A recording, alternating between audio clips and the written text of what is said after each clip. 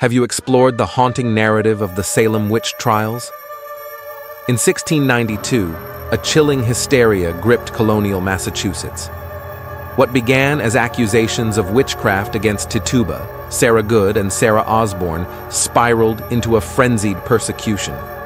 Were the trials fueled by religious fervor, personal vendettas, or genuine fear of the supernatural? The court, led by Judge Hathorne, condemned innocent people to the gallows. Bridget Bishop became the first victim, marking the onset of a dark chapter. How did a community succumb to paranoia, leading to the execution of 20 individuals and a stain on American history? The Salem witch trials stand as a cautionary tale of mass hysteria and injustice. Subscribe for more.